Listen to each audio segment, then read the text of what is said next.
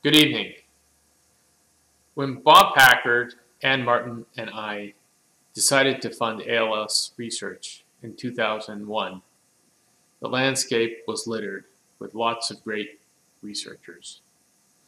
But to harmonize this research into a unified assault on this disease, we needed a leader who could spearhead this effort.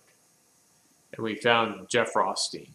And out of that, the Robert Packard Center was born. $8 million later, and numerous golf tournaments with Tom Watson, who's also helped out on a lot of golf tournaments on the East Coast.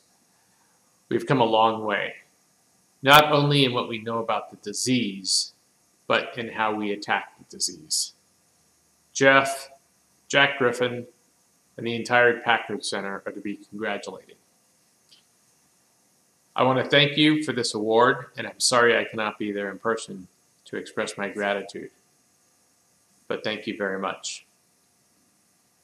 Finally, and thanks in a large part to the persistence of your board member Thornley Hart, I'm proud to announce that the William H. Adams Foundation for ALS Research will be making an additional donation to the Packard Center of $100,000 in 2011.